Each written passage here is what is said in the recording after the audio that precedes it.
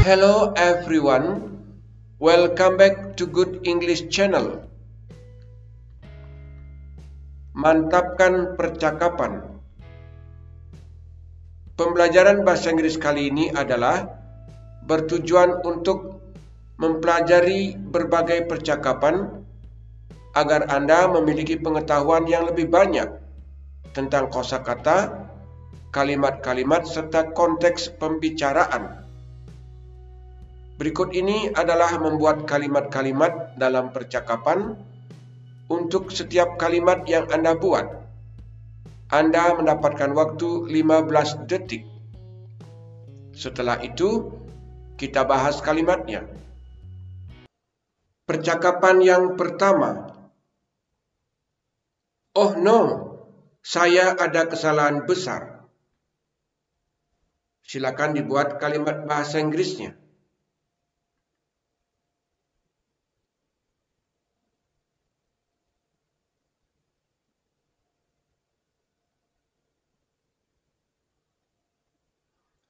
Kalimat berikutnya, apa yang telah kamu lakukan?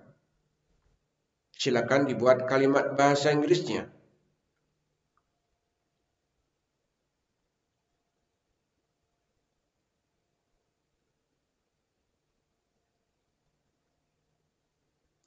Waktu Anda habis. Sekarang kita bahas kalimatnya. Oh tidak, saya ada kesalahan besar. Oh no, I've a terrible mistake. Ungkapan oh no adalah ungkapan untuk menyatakan kekagetan yang luar biasa. Kemudian, I have a terrible mistake. Saya telah melakukan kesalahan besar. Saya ada kesalahan besar. Dengan kata terrible yang berarti buruk, Kemudian mistake adalah kesalahan. Apa yang telah kamu lakukan? What have you done? Setelah mendengar teman mengatakan melakukan kesalahan, maka si B bertanya, What have you done? Menggunakan kalimat tanya seperti ini adalah bertujuan untuk menanyakan apa yang dilakukan dan apa akibatnya. Di situlah tepat sekali menggunakan kalimat present perfect tense. Menanyakan apa yang telah dilakukan, kesalahan apa, kemudian akibatnya apa. Silakan Anda berlatih membaca. Oh no, I've a terrible mistake. What have you done?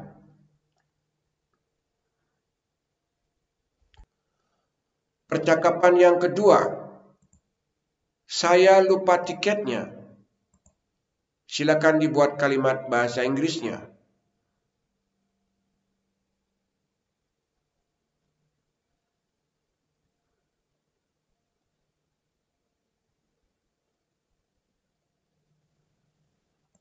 Kalimat berikutnya, apa? Silakan dibuat kalimat bahasa Inggrisnya.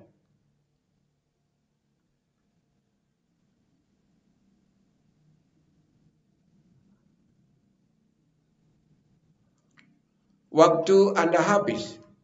Sekarang kita bahas kalimatnya. Saya lupa tiketnya. I've forgotten the tickets. I've forgotten. Saya telah lupa. The tickets. Tiketnya. Dalam bentuk jamak berarti tiket-tiketnya.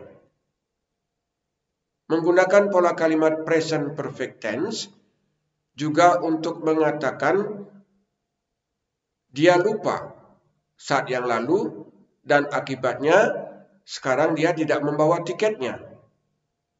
Itulah maksud daripada kalimat present perfect tense. Apa? What? Begitu saja pertanyaannya. Ini juga pertanyaan yang menunjukkan kekagetan yang luar biasa. Silakan Anda berlatih membaca. I've forgotten the tickets. What? Percakapan yang ketiga. Saya memasukkannya ke dalam tas saya pagi ini. Tapi kemudian saya memutuskan untuk menggunakan tas yang berbeda.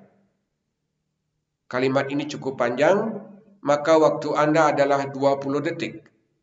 Silakan dibuat kalimat bahasa Inggrisnya.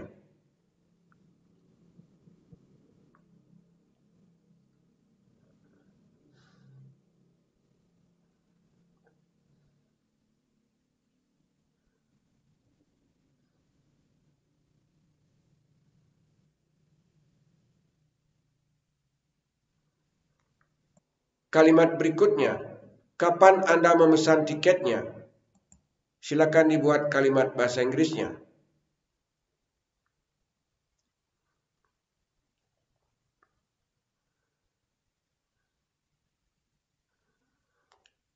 Waktu Anda habis. Sekarang kita bahas kalimatnya. Saya memasukkannya ke dalam tas saya pagi ini tapi kemudian saya memutuskan untuk menggunakan tas yang berbeda. I put them in my bag this morning, but then I decided to use a different bag. I put them, saya memasukkannya, nya di situ adalah tiket-tiket itu dengan kata ganti them ke dalam tas saya in my bag pagi ini, this morning. Tapi kemudian, but then, saya memutuskan, I decided. Perhatikan kata kerja yang digunakan bentuk kedua semua setelah subjek. Karena untuk menunjukkan peristiwa yang telah lalu. Untuk kalimat pertama, Anda tidak bisa melihat dengan jelas kata kerja put. Karena bentuk pertama, kedua, dan ketiga sama. Namun dalam kalimat ini, kata kerja put adalah bentuk kedua. Kemudian I decided. Itu juga bentuk kedua. Saya memutuskan to use a different bag.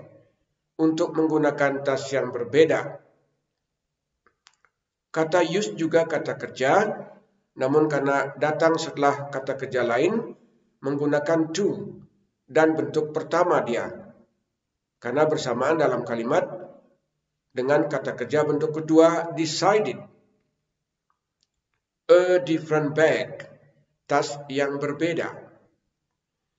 Inilah alasannya kenapa si A lupa membawa tiket itu. Kapan Anda memesan tiketnya? When did you book the tickets? Kapan? When? Anda memesan. Did you book? Kata book artinya memesan. Kata kerja. Dengan kata kerja bantu did, bahwa memesan itu sudah terjadi di saat yang telah lalu.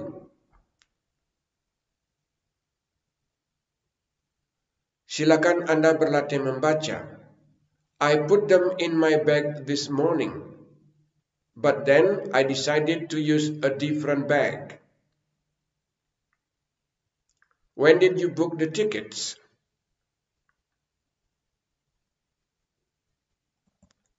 Percakapan yang keempat. Minggu lalu, saya memesannya melalui telepon. Silakan dibuat kalimat bahasa Inggrisnya.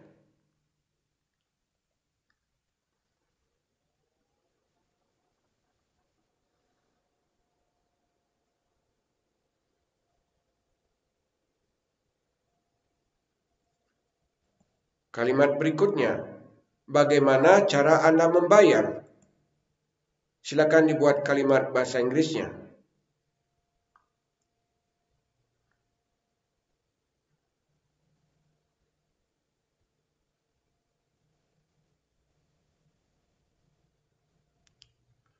Waktu Anda habis. Sekarang kita bahas kalimatnya. Minggu lalu, saya memesannya melalui telepon. Last week, I did it by phone. mengatakan minggu lalu, last week, saya memesannya, I did it. Menggunakan kata kerja did, bukan kata kerja bantu. Did ini sama dengan do, artinya mengerjakan. Untuk menggantikan memesan yang telah terjadi di saat yang lalu, menggunakan did. Juga bisa dibuat I booked it. Bisa seperti itu melalui telepon, by phone. Bagaimana cara Anda membayar? How did you pay? Bagaimana cara Anda membayar? How menanyakan cara. Did adalah kata kerja bantu. Kemudian pay adalah kata kerja yang artinya membayar.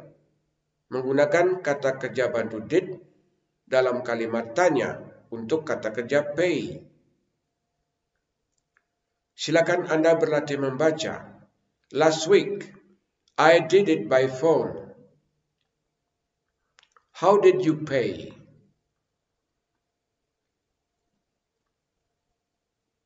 Percakapan yang kelima. Saya membayar dengan kartu kredit. Silakan dibuat kalimat bahasa Inggrisnya.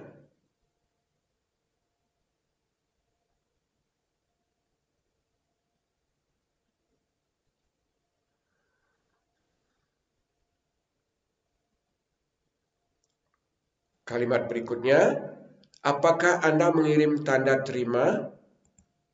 Silakan dibuat kalimat bahasa Inggrisnya.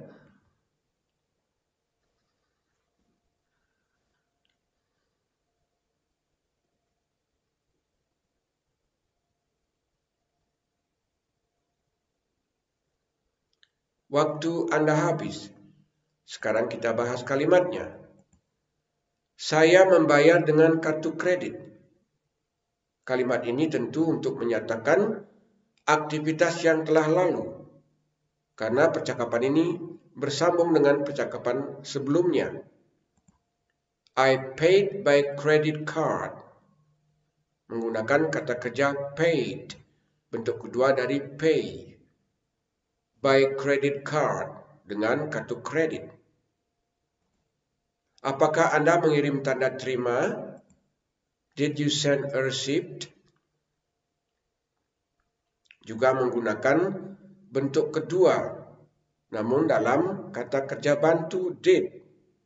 Karena kalimat tanya, sehingga kata send, kata kerja yang tetap dalam bentuk pertama. Silakan Anda berlatih membaca. I paid by credit card. Did you send a receipt?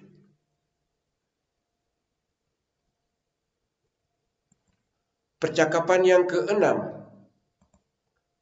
Sebentar, lihat, saya menemukan tanda terima itu. Silakan Anda membuat kalimat bahasa Inggrisnya.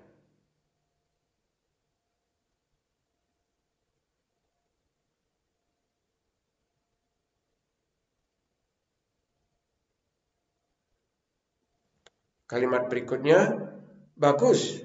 Ayo pergi ke box office. Silakan Anda membuat kalimat bahasa Inggrisnya.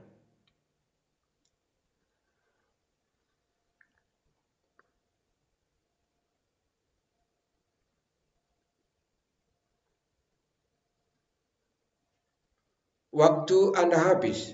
Sekarang kita bahas kalimatnya. Sebentar, lihat. Saya menemukan tanda terima itu. Ini juga kalimat yang menunjukkan rasa terkejut atau kaget. Just a minute. Look, I found the receipt. Sebentar. Just a minute. Itulah biasa kita mengatakan untuk sebentar. Look. Lihat. Itu artinya bahwa ada sesuatu yang perlu diperhatikan. I found the receipt. Saya menemukan tanda terima itu. Berarti dia mengingat-ingat, kemudian melihat tasnya, ditemukanlah tanda terima itu. Bagus, ayo pergi ke box office. Great, let's go to the box office.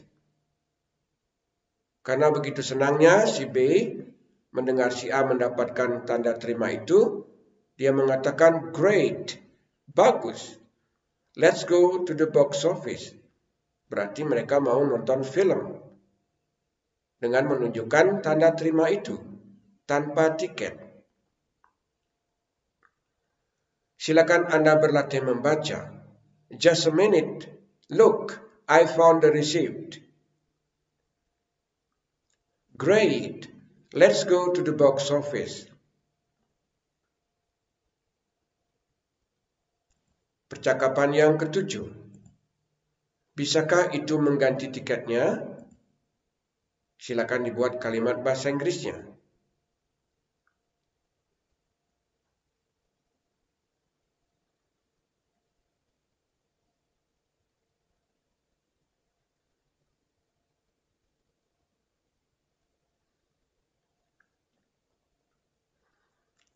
Kalimat berikutnya, saya yakin mereka menyimpan catatan nomor kursi.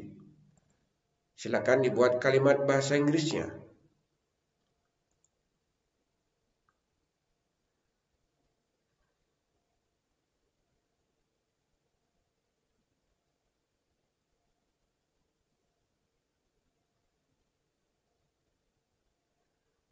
Waktu Anda habis. Sekarang kita bahas kalimatnya. Bisakah itu mengganti tiketnya? Kata itu adalah mengacu kepada tanda terima itu. Bisakah tanda terima itu mengganti tiketnya? Itu maksudnya. Can it replace the tickets?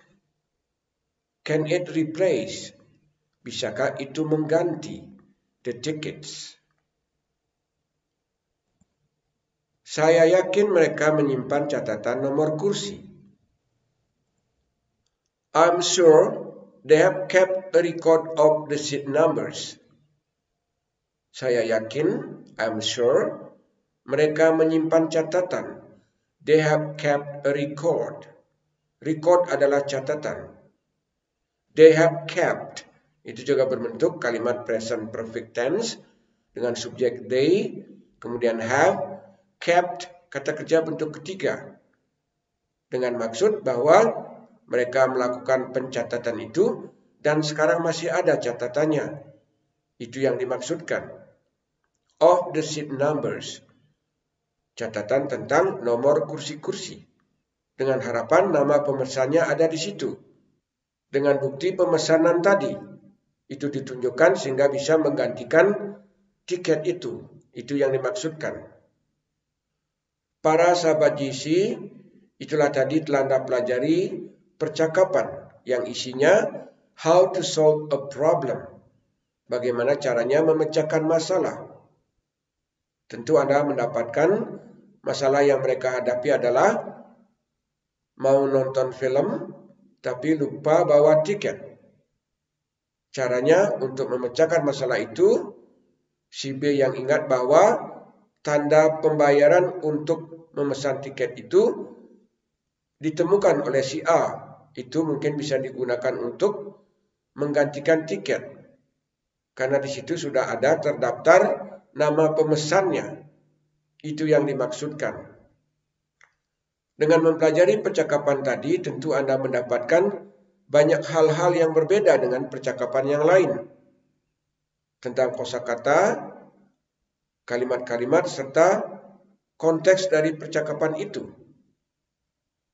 Dengan pembelajaran ini, kami harapkan Anda mendapat pengembangan dalam mempelajari percakapan-percakapan bahasa Inggris.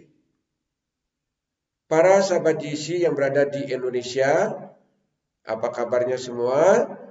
Serta rekan-rekan yang berada di banyak negara lainnya, juga apa kabar? Mudah-mudahan Anda semua dalam keadaan sehat walafiat tentunya sukses dalam keseharian Anda. Mudah-mudahan dengan pembelajaran tadi, Anda semakin tertarik untuk belajar bahasa Inggris.